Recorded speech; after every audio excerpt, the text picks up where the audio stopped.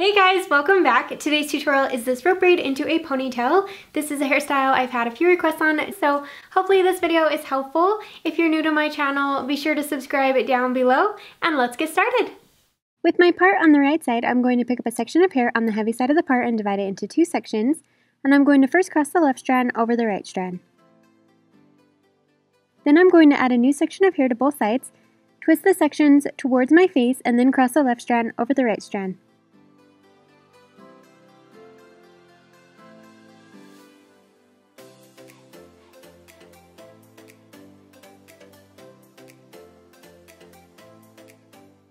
Then I'm going to add another new section of hair to both sides, twist them towards my face, and then cross the left strand over the right strand again. And I'm just going to repeat those steps, adding new sections into both sides, twisting them towards my face, crossing the left strand over the right strand until I've brought in hair above my left ear.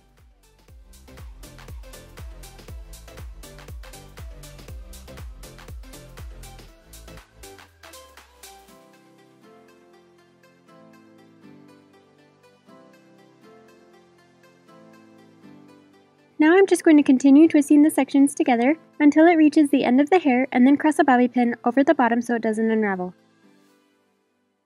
Now I'm going to bring all of the hair together into a ponytail and tie it off with a hairband. Then I'm going to go back over the braid and pull on the edges just to make it a little bit bigger. And then I'm going to remove the bobby pin from the end of the braid, take a section of hair from the ponytail, wrap it around the hairband, and pin it underneath with a bobby pin. As an extra step to finish off the style, I'm just going to take a hair scarf and tie it over the ponytail.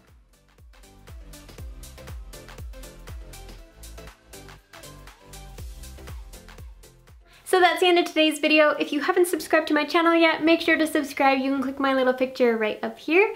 And if you want to see more ponytail hairstyles, be sure to click the thumbs up. Also, if you want to check out last week's tutorial, just click right over here. Thank you so very much for watching, and I will see you next time.